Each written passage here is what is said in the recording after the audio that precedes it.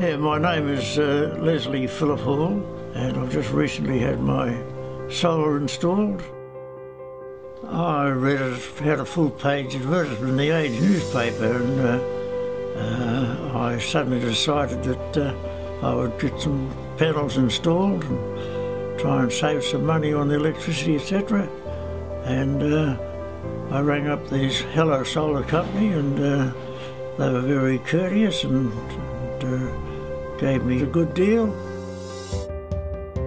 They did a thorough inspection of the installation uh, a few week or so after it was installed and made sure everything was operating properly and I felt that uh, they were going to look after me.